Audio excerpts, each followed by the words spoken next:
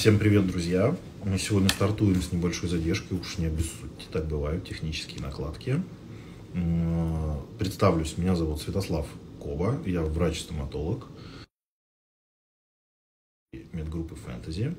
Сегодня я вещаю э, вам от аккаунта Dental Fantasy, потому что тема у нас очень интересная, подготовка а, ребенка к школе. Да, у нас с вами стартует с 1, вернее, в этом году со 2 сентября новый учебный год сегодня с коллегами а, освещать вопрос, как нам наших маленьких а, ребят подготовить к этому с.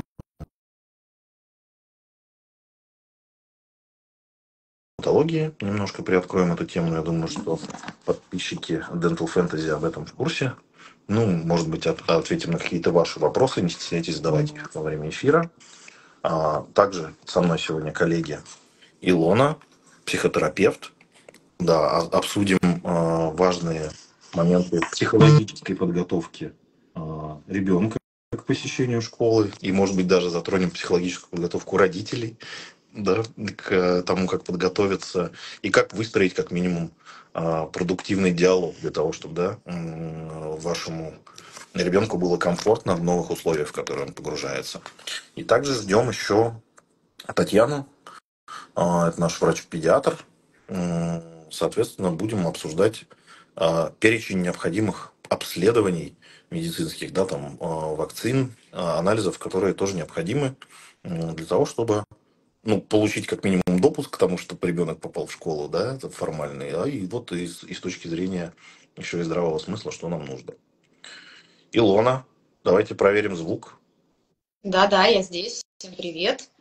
Рада всех приветствовать да. в нашем прямом эфире.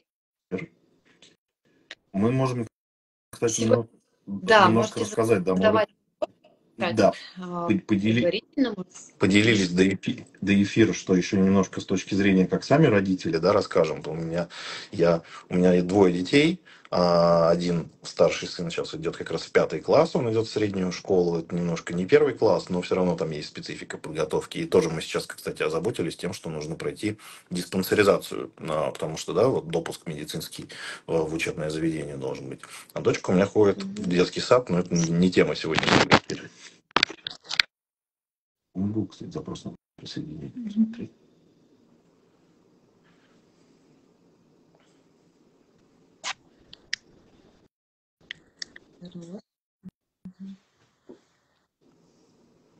Ну, мы можем начать, э, на самом деле, тогда сместить немножко и начать действительно с психологической подготовки. Да, для нас, э, как для родителей, наверное, тоже э, такое трепетное время, сложное психологически, когда мы отправляем ребенка в новые условия, в новое, новое место. Добрый день. Привет. Вот, вот и Татьяна. Да, слышно, видно. Да, Татьяна, как я уже говорил, врач-педиатр, и мы будем обсуждать, собственно говоря. А, я так понимаю, что на самом деле самый большой основной а, запрос не у всех, а вообще там и по требованиям, да, когда мы в учебное заведение.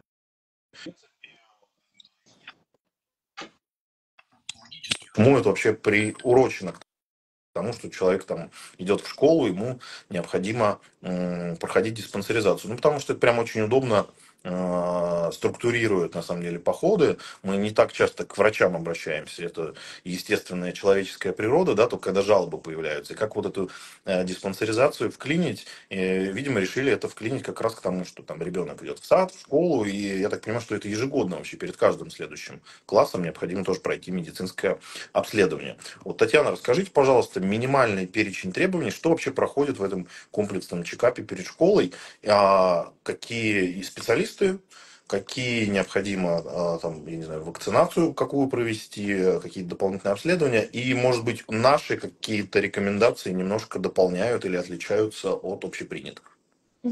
Спасибо большое.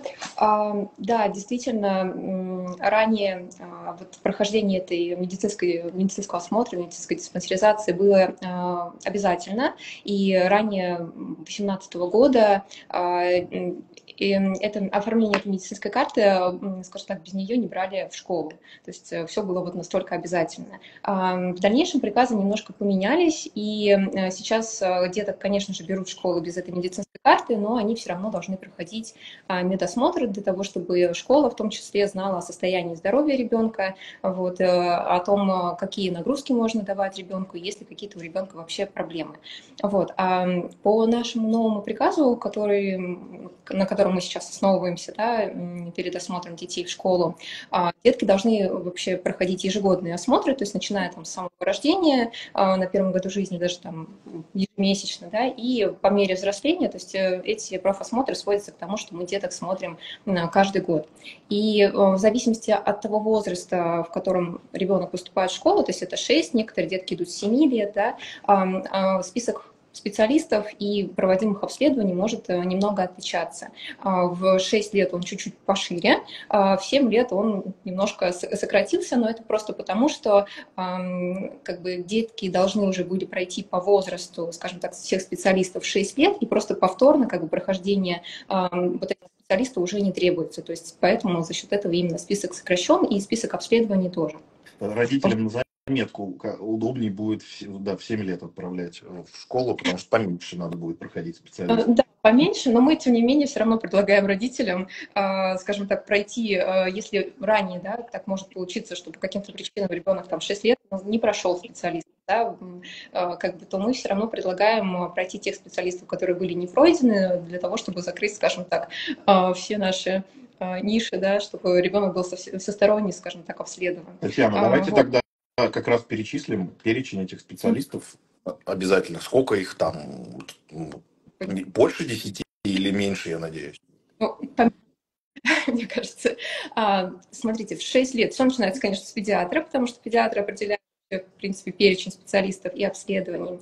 А в 6 лет ребенка должен также осмотреть невролог, травматолог, хирург, офтальмолог, лор-врач, детский психолог, детский стоматолог. А, также должен быть а, ребенок обследован эндокринологом, и девочки – это акушер-гинеколог, мальчики – это уролог.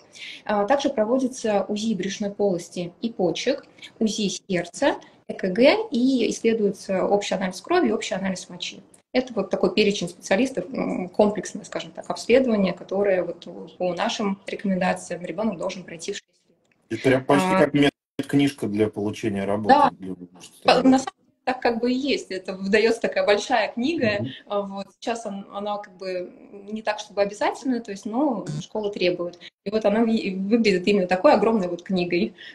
Туда вписываются а, все а, ранее проведенные вакцинации, которые были у ребенка, поэтому как бы родителям необходимо предоставить данные о вакцинации детей, чтобы школа также знала и медспециалист, который находится в школе, знал, какие прививки ребенку нужно доставить, если они не были проставлены, там что-то по возрасту, допустим, нужно поставить. Вот. И, соответственно, вот это вот После прохождения медосмотра а, врач-педиатр делает заключение о состоянии здоровья ребенка, относит его к определенной группе здоровья и дает заключение по а, занятию спортом, кто определяет группу а, физкультурную да, и, соответственно, нагрузку, которую может получать ребенок в школе. Вот. Соответственно, тоже удобно для школы, они уже сразу знают, э, там, да, в какую группу физкультурную определить ребенка учителю. Татьяна, вот, кстати, наш э, зритель пишет Лина Новикова, да, что сейчас медицинская карта с детского сада, и она так и переходит, правильно я понимаю, в школу и в дальнейшем. А если родителей уже, допустим, была детская карта, вот с сада она велась, соответственно, они не обязательно ее заводить новую, они могут прийти с вот этой картой, и, соответственно, мы просто продолжим ее заполнять, там есть определенные графы, вот осмотр ребенка перед школой, и мы, соответственно, там вот а, прописываем туда все заключения, и специалисты вносят, и мы, как педиатры, уже там вот в определенном блоке ставим свое заключение. Поэтому, конечно, нет необходимости новую прям заводить. Но если у родителей ее не было, то, соответственно, заводится новая карта для школы. Хорошо, еще хотел уточнить, знаете, какой вопрос? Вы сказали, что э, ну, раньше это было прям строго обязательно, а сейчас э, как-то более э, спокойно к этому относятся. Правильно я понимаю, что можно вот там, если вдруг не успели до 2 сентября пройти всех специалистов, все равно э, в школу попадут? Mm-hmm. Никто не будет на входе проверять медицинскую карту, это и такое не пропускать. Угу. Это я просто веду к тому, что у нас сейчас с вами 22 августа сегодня, да, и осталось совсем мало времени до 2 сентября. И вот я, например, как, э, хоть я и э, врач, да, но в этом плане не очень организованный родитель, спохватился буквально вчера, что необходимо, оказывается, все это оформить. Mm-hmm. И получается, что я не успеваю всех, к сожалению, пройти. А, Еще в школе не интересовался, как к этому отнесутся. Mm-hmm. Но а, существует ли ситуация, в, в, в которой, там, например, просто скажут, без медкарты мы не, не пустим вашего ребенка? Надеюсь, что, конечно, нет такой ситуации. Сейчас нет, это вот ранее для зачисления именно в первый класс, то есть это было в, в обязательном списке документов, медкарта фигурировала. А сейчас такого нет, и это, скажем так, а, а, отдано, как это сказать, это рекомендация скорее для родителей, да, по медосмотру, который вот нужен пройти, но это не значит, что вас не пустят без этой карты в школу. Возможно, школа в дальнейшем на месте организуют медосмотр необходимыми специалистами ребенка, да, если что-то было не пройдено, а, ну, либо попросят э, донести, соответственно, карту там, в течение какого-то времени, э, как бы все-таки предоставить школе информацию. То есть это не обязательно, но школы запрашивают эту информацию. Хотел, знаете, еще обсудить какую тему. Вот я как стоматолог э, знаю, что э, детей нужно да, к стоматологу показывать с самого первого зуба. То есть вот как только зубы прорезались, вы их увидели в полости рта, и дальше уже, а, собственно говоря, ваш специалист, у которого вы наблюдаетесь, вам формирует график осмотров в зависимости от возраста и так далее. Как а, э, и это мы называем профилактическими осмотрами, потому что прекрасно знаем, что предотвращение возможных стоматологических заболеваний, их профилактика, это наиболее комфортное состояние а, для человека, потому что когда болит или что-то разрушилось, это уже развитие да, заболевания. Чтобы этого предотвратить и не возникало, мы рекомендуем регулярно посещать стоматолога. Есть ли какие-то рекомендации по регулярности посещения педиатра, если ничего не беспокоит?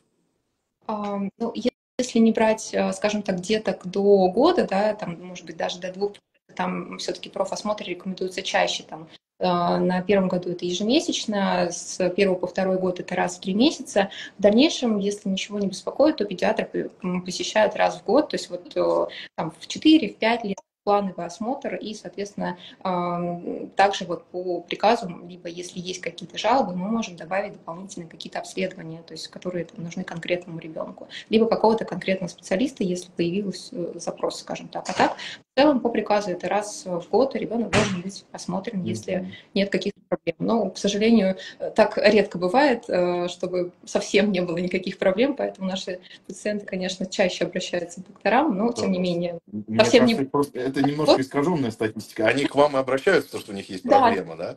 да? да, Надо разделять людей, которые ходят на профилактический осмотр, у них все хорошо, такие все-таки тоже есть, наверное. Есть, есть, конечно же, есть. Вот, но вот для таких э, как бы деток раз в год как бы должен быть осмотр. Я бы... Потому что всегда есть вопросы то есть, которые с родителями нужно обсудить в том числе. Вот, и, может быть, где-то так, если прицельно порасспрашивать, то будет и какая-то проблема. Так, если педиатр, скажем так, э, хорошо покопается и расспросит родителей, вот, может и такое быть, поэтому вот раз в год хотя бы. А, Татьяна, вы упомянули еще, что в перечень тех, кто идет в 6 лет, по-моему, mm-hmm. да, входит как раз еще осмотр психотерапевта. Mm-hmm. Правильно я услышал?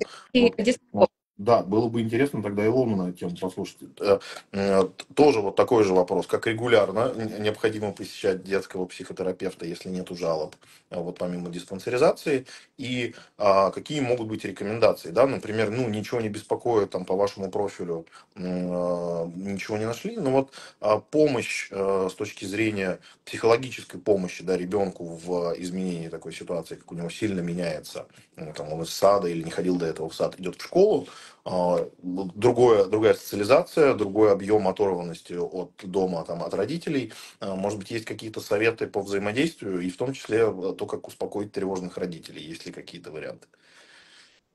Тревожными родителями это всегда большой вопрос и отдельная работа. Вот. Но, наверное, тут имела в виду Татьяна изначально сказала, что это речь про психолога, да, и про то, насколько вообще ребенок готов э, в первый класс идти, да, готов к такой сепарации, да, уже с родителями, потому что это уже ребенок отдельно, да, там это не все-таки определенные правила, определенная дисциплина, ответственность, да, усидчивость там в течение этих 30 первых минут, которые очень важны. И здесь больше, да, на вопросы, ребенок э, выдержит, да, вот эту вот э, какую-то а, ответственность, да, новые обязанности, новая вот адаптация. Понятно, что всем сложно.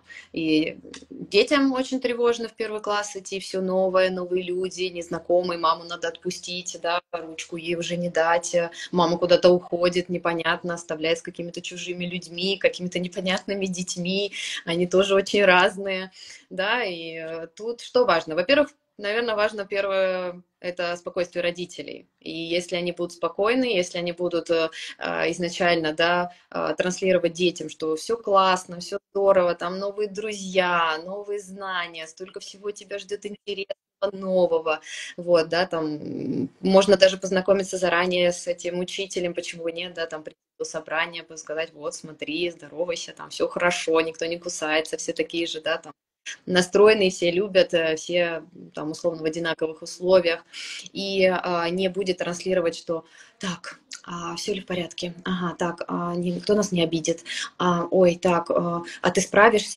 да, то есть если не будет изначально немножечко вот такого а, страшилок, да, по, в адрес школы, то, конечно, и ребенку будет интереснее, да, то есть постараться его заинтересовать, а что там может быть классно, что там может быть интересно, да, ну, сказать, что можешь побегать на перемене, вот там есть во дворе тоже лазалки, ползалки, ты там вот позанимаешься, а дальше ты можешь там поиграть, да.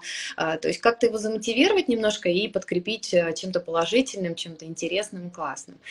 Сказать, э, да, ребенок, конечно, должен быть э, готов и уметь говорить нет, безусловно, да, то есть это тоже важный такой момент. Иногда чтобы... бывает, что ребенок настолько подготовлен, что он на все говорит нет, что тоже не перегнуть. Хорошая подготовка.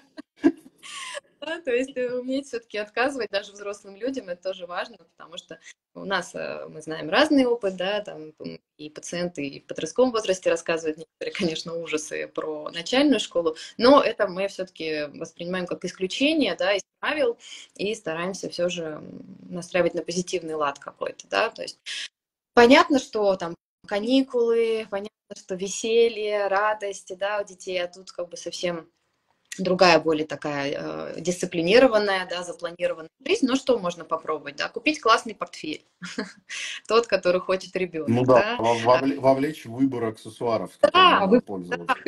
Магазин, канцелярию, классную, какую хочешь, яркую, там, тетрадочки, дневнички, да, давай вместе выберем, да, это то, что ему будет напоминать, во-первых, о родителях, это выбор, да, вместе с ними, а, да, это то, что будет ему хотеться достать, да, показать классный пенал, классные там ручки, эластики, поделиться, да, там может быть еще как-то.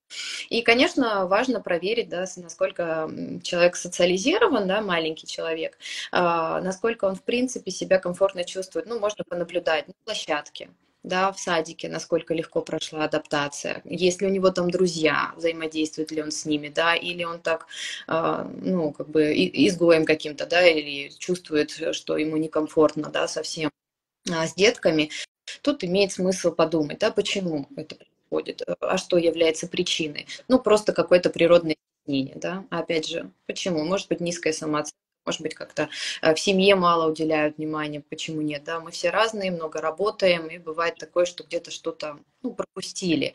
Тоже подумать, да, об этом, почему, а что я могу в этой ситуации сделать, э, ну, больше уделить внимание, поговорить, например, да, разобраться. Если сама там, самим родителям сложно, то в этой ситуации действительно имеет смысл обратиться к психологу, да, и э, обсудить, например, а что могло повлиять и как я могу тут э, помочь своему ребенку легче адаптироваться, да. Но, как правило, это на этапе сада уже понятно, да, какой ребеночек, насколько ему легко адаптироваться. Мы все очень разные, взрослые, дети. Кто-то чуть более тревожный, кто-то там э, прям сломя голову, да, мчится дружить, да, кто-то, наоборот, даже слишком общительный, его очень много, да, тоже да, имеет смысл. тревожит всех остальных детей, кроме себя. Немножко Так, притормози, дружочек, дай да, другому тоже что-нибудь сказать.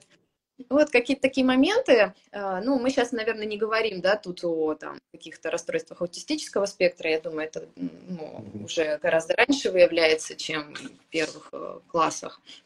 Ну, опять же, да, история с СДВГ, да, это частая сейчас очень история. Ну, тоже понятно, да, ребенок очень активный, во все вовлекается, неусидчивый, э, ему очень сложно сосредоточиться даже там на 15-20 минутах садки занятий. Ну, тут как бы человек родитель, как бы он заметит это, и, конечно, следует обратиться э, к психологу за помощью, потому что это то, что будет ему мешать э, взаимодействовать с одноклассниками, налаживать отношения с учителем, потому что одно дело информированный учитель, и он тогда да, уделит внимание и поймет, как немножечко да, эм, э, организовать да, какую-то, может быть, историю взаимодействия именно с этим ребенком, да, а есть те, которые, наоборот, э, конфликтуют, да, считают это недисциплинированностью какой-то, ну, обычно это такой старой закалки, наверное, да, я больше. Начинается какая-то, ну, травля не хочется говорить, но все-таки, да, на этого ребенка очень много ему замечаний делают, вызывают родители, и это первый класс, и, конечно, тут э, демотивируется этот ребенок бедный, да, ему не хочется уже ни эту школу, ни этих одноклассников, Хочется, хочется, хочется верить, что педагогов таких все меньше и меньше. Мне кажется, просвещение это дает а, знать о том, что психологическая зрелость и восприятие мира детьми, особенно в таком возрасте, оно очень разное может быть. Эти истории еще остаются. Недавно вот на приеме у меня была мама, которая рассказывала. Поэтому, увы, да, мы это имеем, и, конечно, хочется больше информированности и даже, может быть, больше вовлеченности в желание этих учителей как-то ну, найти контакт с этими детьми, а не просто пытаться спихнуть это все на родителей, на проблемы ребенка и прочее. Ну да. А, Илона, а, тут Лина, а, наш зритель, спрашивает интересный вопрос. Как понять, готов ли ребенок психологически к школе? Мой ребенок идет в первый класс и уже не хочет идти в школу, нет мотивации. Но я бы на самом деле немножко, может быть, перефразировал. А как понять, что не готов? Есть ли прям вот какие-то красные флаги, которые говорят, что лучше еще годик подождать, например? Сложно так, конечно, ответить на вопрос, готов он не готов. Это все-таки а, такие общие характеристики, и надо смотреть каждого ребенка отдельно, в чем именно он не готов. Да? Это неготовность, например, он не может держать ручку карандаш, Наверное, да, он еще не готов, да, то есть потому что много пишут, наверное, занимаются. А, это неготовность, потому что он агрессивный, кидается, ну, Илина, я сейчас не про вашего конкретно, да, ребенка, а в целом да, и не может, э, например, э, в принципе налаживать контакт с детьми, ну, наверное, тоже, да, тут э, стоит подумать, да, либо выбрать специальный класс, либо там начальный какой-то подготовительный класс взять, да, чтобы посмотреть, как-то адаптировать его в школе. Потому что Однозначного, наверное, решения здесь нет. Маме все-таки лучше и виднее, насколько ребенок готов. Но важно вот именно посмотреть двигательную активность, да, ручку держит, там, например, писать может, да, насколько усидчив все-таки ребенок э, э, в этом возрасте, может ли он хотя бы 15 минут вот с мамой посидеть, там, э, послушать сказку, да, или порисовать с ней, опять же, то есть какие-то такие разукрасить, или он там скакивает уже через 5 минут, ему совсем неинтересно. Может быть, вам имеет смысл просто, Лена, спросить, да, поговорить, что он, почему он не хочет школу? Может быть, его просто пугает новое что-то, да, какая-то новая обстановка, и его, это нормально, что это его пугает. Попробовать валидировать его чувства и сказать, малыш, да, ты переживаешь, это абсолютно нормально. Я тоже немного волнуюсь, но давай, я уверена, что все будет хорошо. Ты там найдешь новых друзей, я буду рядом с тобой, мы всегда там можем с тобой поговорить о том, тебя волнует. Не стесняйся говорить о том, что тебя пугает.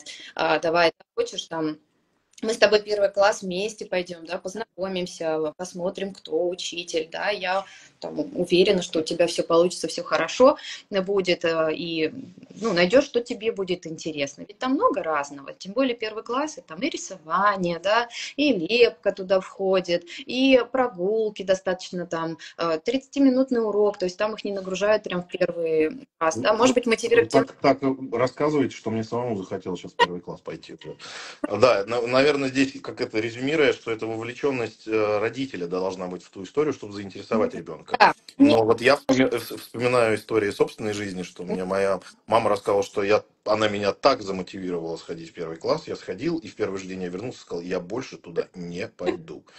Да, и поэтому тут как бы замотивировать пойти, да, а потом эту мотивацию необходимо поддерживать постоянно. И вот, например, из, из личного опыта такого сторителлинга у меня прям а, такая игра с а, сыном про то, что он мне должен каждый день рассказать, что он нового интересного узнал из посещения в школе. Все классно. Да, и вот у, нас- у него прям такой челлендж, что-то все-таки новенькое притащить оттуда.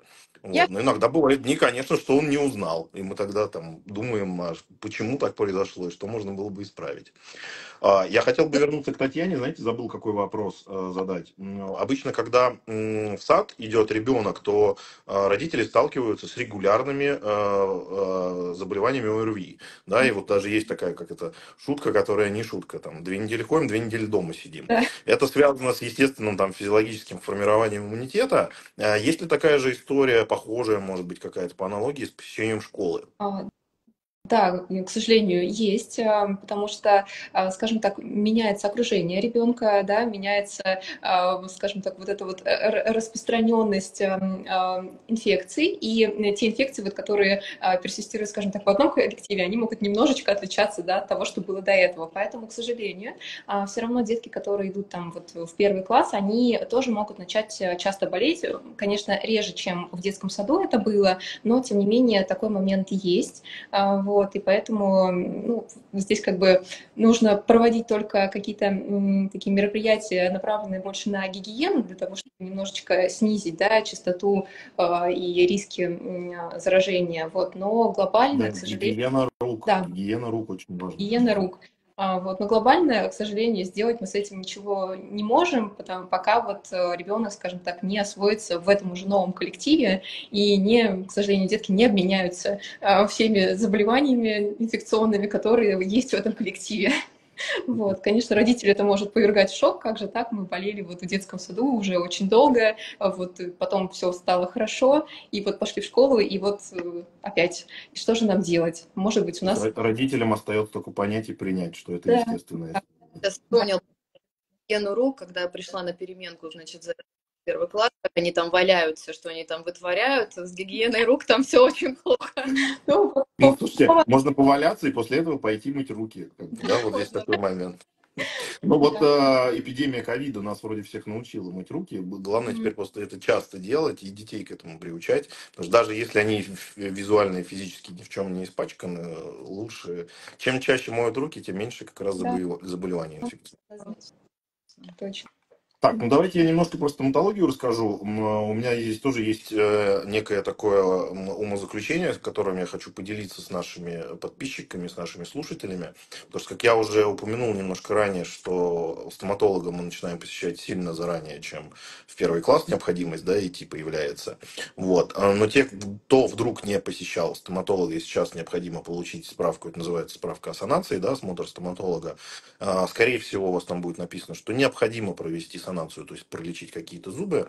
И здесь я рекомендую выстроить диалог а, с стоматологом, связанный с тем, а, чтобы распределили ваш план лечения а, таким образом, чтобы он был приоритетным. То есть то, что нужно быстрее решить, и то, что может обостриться и там подпортить э, привычный э, текущий ритм жизни, и то, что можно планово растянуть. Понятно, что затягивать не нужно. Обычно стоматолог определяет сроки, в какие нужно это сделать. Это я веду к тому, что как раз ребенок идет в первый класс, и вот там со 2 сентября у него начинается период адаптации, и, конечно, еще таскать его потом к стоматологу после там школы или вместо школы. это- Видите, как это только сказал про стоматолога, сразу все грохнулось.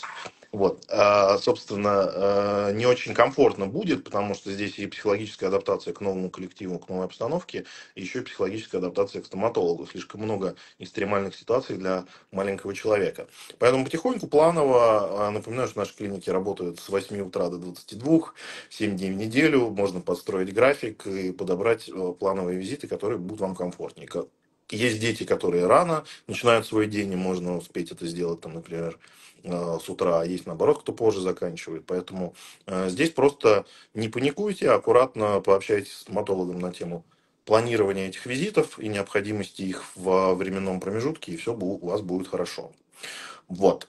Что мы еще с вами можем обсудить на эту тему? Может быть, у вас есть какие-то э, э, нюансы, которые мы не осветили еще, коллеги, скажите. Я знаю, что был в плане вопрос про вакцинацию деток, да, перед школой. Вот можем сейчас а, обсудить этот вопрос. Там достаточно большой блок прививок, э, который делается в этом возрасте, и в основном это, конечно же, ревакцинация, но тем не менее. А, многие школы, скажем так, достаточно трепетно а, относятся к теме вакцинации, потому что в школе, допустим, могут делаться деткам какие-то прививки, и невакцинированных детей могут, э, скажем так, отстранять от занятий, да, если они не привиты, и достаточно на длительные сроки, до нескольких месяцев, э, просто чтобы заботиться об их здоровье, да, это вот касается вакцинации от полиомиелита, а, допустим, вот, и, соответственно, относительно туберкулинной диагностики в также достаточно активно за этим смотрят, и деткам, которые не проводятся там пробы МАТУ, либо не ставится диаскин-тест, а, соответственно, тоже могут не допустить а, к обучению по причине того, что школы обязаны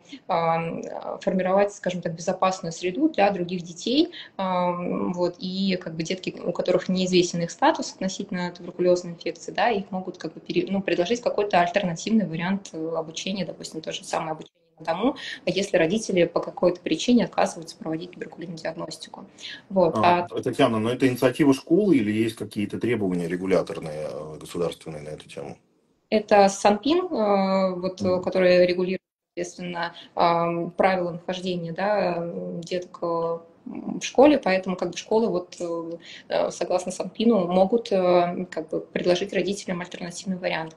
Вижу комментарии наших зрителей о том, что кто-то не ставит манту, но сдавали антифероновый тест, да, бы альтернатива, если родители по какой-то причине не хотят ставить манту или диаскин, то можно сдавать там анализ крови и вот делать квантифероновый тест, и это тоже как бы считается а, методом диагностики и принимается в школе. То есть как бы такой вариант, да, тоже возможен.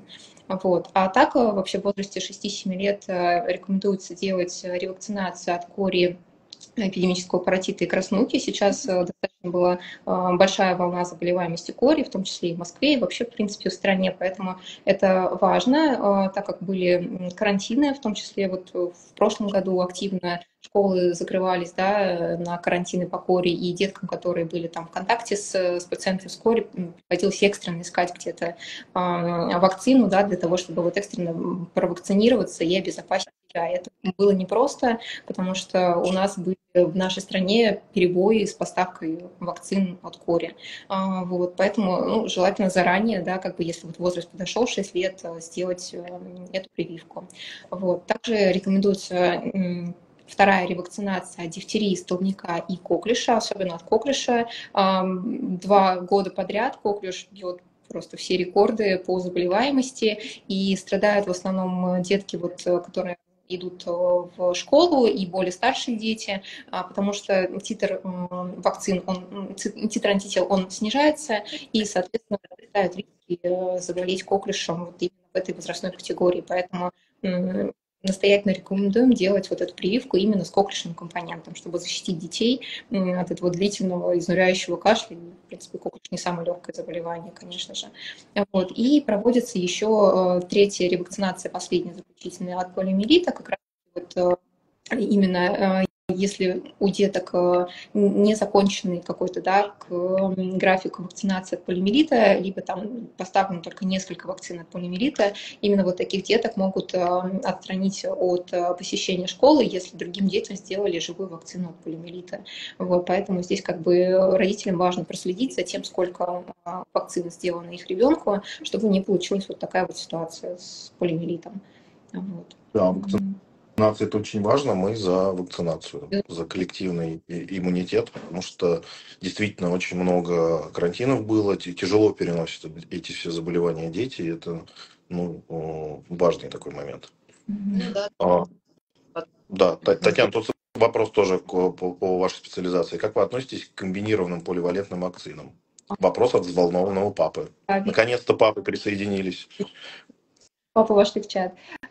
Спасибо за вопрос. А, я так понимаю, что это наши комбинированные вакцины, наверное, пентаксим, да, и там инфанрис гекса, надеюсь, что я правильно поняла вопрос от нашего зрителя. Э, я прекрасно отношусь к этим вакцинам. Это позволяет сделать, скажем так, за, один, за одно введение достаточно большой вот спектр да, наших антигенов ввести, антител, вот, и, э, соответственно, ребенку доставляется меньше дискомфорта, а мы как бы за один раз бываем вот просто по всем фронтам, что называется.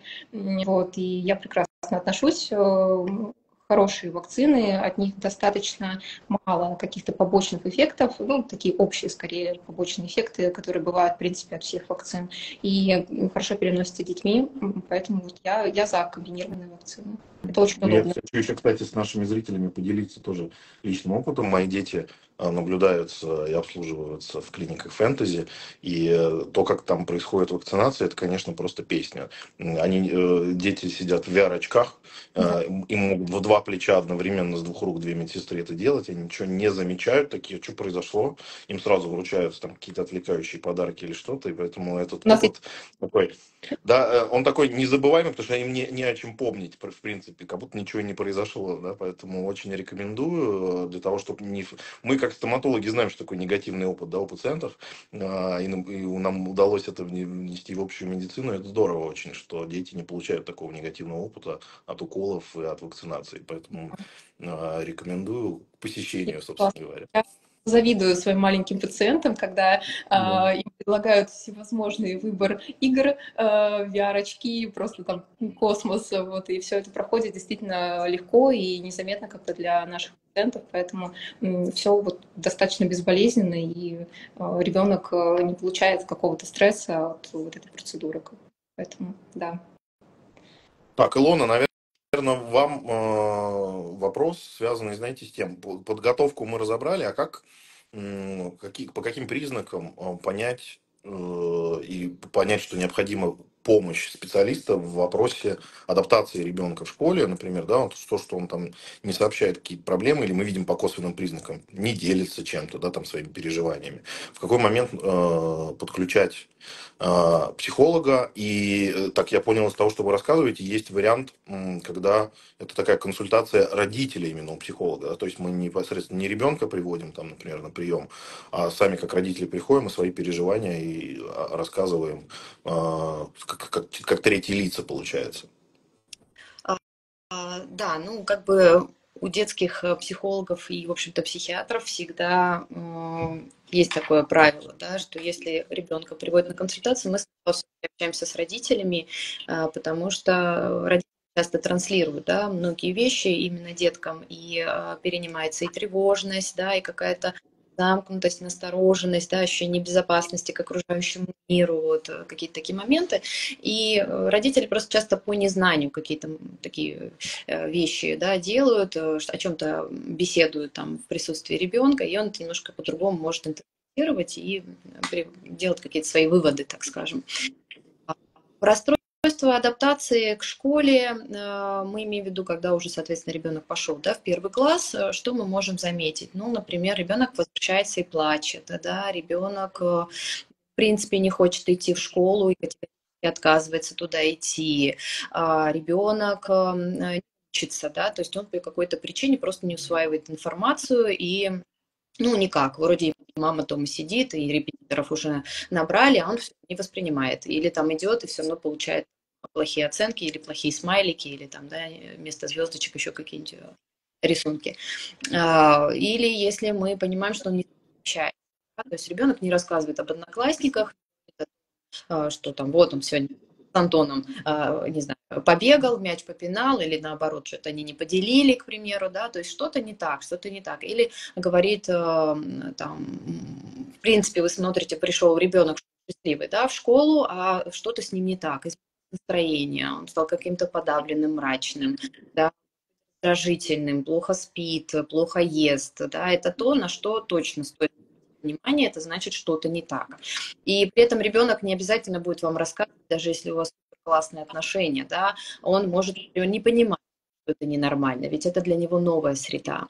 Он может, может быть, кто-то его запугивает, опять же, говорит там, попробуй только рассказать, завтра я тебе там наваляю, да, а, вот, и так далее. Поэтому очень важен контакт, и если вы чувствуете, что что-то в вашем в поведении ребенка изменилось, что-то не так, да, а, просто даже вот подозреваете, лучше поговорить, руководителем, да, с классным, то есть э, с учителем, поговорить с ребенком, он наверняка откроется, да. Можно, почему мы и спрашиваем, а как у тебя день прошел? А что было сегодня новенькое? С кем ты сегодня дружил, да? А с кем ты сегодня играл? А чем вы занимались на переменках, да?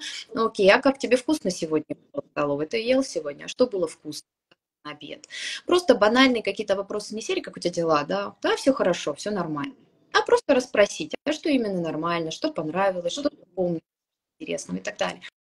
И э, тут ребенка может прорвать э, в какой какой-то момент, и он может выложить э, такую историю, о которой мы даже не подозреваем, да, а может наоборот сказать, да, все было классно, мы сегодня бегали, играли, вкусные пельмени были там, я не знаю, вот, учитель сегодня так много интересного рассказал, а похвалил, сказал, какой ты молодец, какая буква А красивая, и вот это в первую очередь. И еще я хотела бы, наверное, родителей попросить, чтобы они не брали, конечно, в первом классе количеством кружков, каких-то требований, да, чтобы он классно уже писал к концу года, чтобы он там супер быстро читал. Нет, э, ну, как бы в школе жизнь, конечно, большая, да, но только этим а, дети должны быть сейчас. У них должна быть оставаться свободная игра, да, какое-то свободное время. Просто играть, собрать лего, порисовать то, что ему хочется, не знаю, побегать на площадке, опять же, да, то есть не сразу включаться в этот огромный э, учебный процесс, а позволить ему еще остаться в этом детстве, поиграть, э, повеселиться, погонять балду, там, что-нибудь такое. Ну да, задача вот. Конечно. начальной школы это приучить, ну, э, интерес привить к, к обучению, а не нагрузить да. его сразу всей программой, чтобы такой, ну все, я справился за год, за пять да. лет, погнали дальше. Нет. Опять же, да, и смотреть по ребенку, да, если он спортивный, окей, дать ему там побегать, попрыгать после э, занятий или записать его там в такой кружок прям при школе, чтобы сильно далеко тоже время да, на логистику, на переезды не было.